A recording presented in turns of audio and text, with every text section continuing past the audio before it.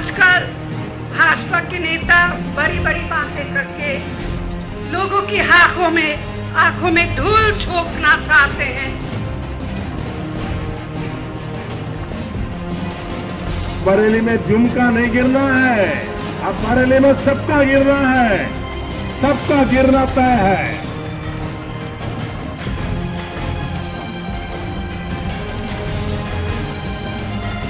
जाऊँगा बीजेपी में नहीं आऊँगा। मर जाऊँगा कांग्रेस में नहीं आऊँगा कभी।